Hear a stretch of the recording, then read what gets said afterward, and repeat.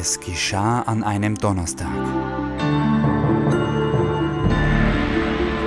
Als die tapfere Kriegerin Melanie mit ihren Söldnern die Burg Plankenstein einnehmen wollte. Burgherr Erich sah sich schon dem Untergang geweiht.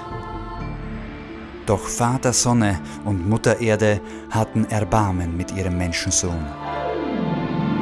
Der Himmel öffnete sich und die Sonnenstrahlen erwärmten die eingefrorenen Herzen der Söldner.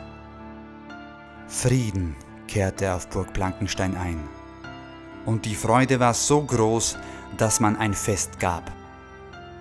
Es wurde getanzt, musiziert, gemeinsam die Burg wieder aufgebaut, die verbogenen Rüstungen wieder repariert.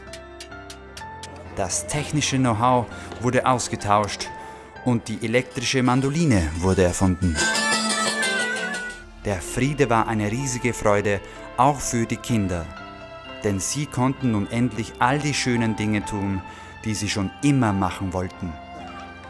Miteinander spielen, am Rücken der Ponys die Welt entdecken und die Geschenke von Mutter Erde gemeinsam und in Dankbarkeit genießen. Das alles kannst auch du erleben.